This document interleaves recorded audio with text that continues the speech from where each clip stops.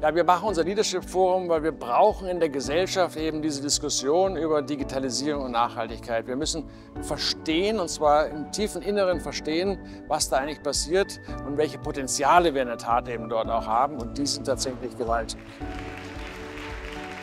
Äh, digitale Transformation aus Sicht eines Startups bedeutet, äh, analoge Systeme gegen digitale Systeme erstmal zu tauschen und dadurch überhaupt Daten zu generieren und mit den Daten dann arbeiten zu können.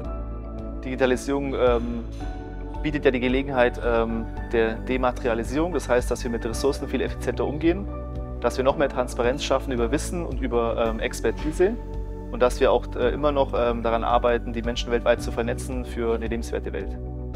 Äh, gerade wenn wir Price Tags an CO2-Zertifikat, CO2 das Handel, das ist eine ganz spannende Geschichte, weil man überlege sich das, äh, man kann Werte generieren, indem man Dinge nicht tut.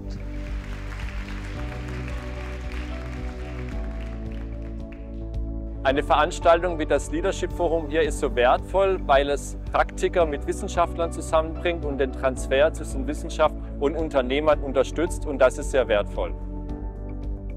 Und eben auch ähm, Netzwerken und richtig coole Leute kennenlernen, mit denen man dann auch wieder anpacken kann. Digitale Zukunft bedeutet, dass wir sowohl im unternehmerischen Kontext als auch im persönlichen Kontext einfach durch Technologie unterstützt werden, das unseren Alltag auch erleichtert, dass wir nicht viele repetitive Aufgaben erledigen müssen, aber auch, dass wir zum Beispiel über so Medical Devices einen Einblick in unsere Gesundheit kriegen dass alles, was digitalisiert werden kann, auch digitalisiert werden wird. Dass alle analogen Prozesse, die, nicht, also die keinen Mehrwert haben, wenn es ein Mensch zu Mensch macht, dass die sauber, effizient, digitalisiert ablaufen. Die größten Chancen der Digitalisierung sind für mich, die Flexibilität der Menschen zu erhöhen durch die Unterstützung der Technologie und zum anderen die Nachhaltigkeit in allen Aspekten auf ein neues Level zu bringen. Digitale Zukunft ist für mich ein lebenswertes Leben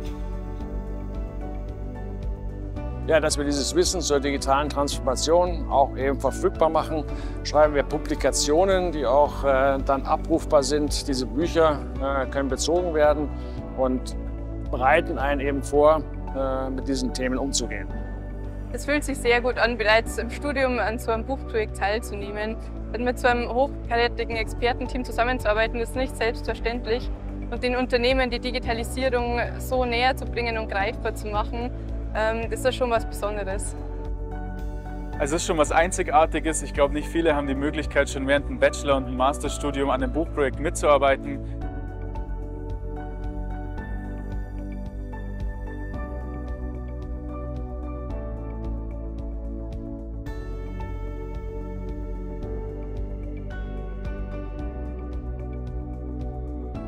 Und auch hier eine Präzision versus Experimentieren. Auch hier gilt es nicht, das ist kein Entweder-Oder, sondern sowohl als auch.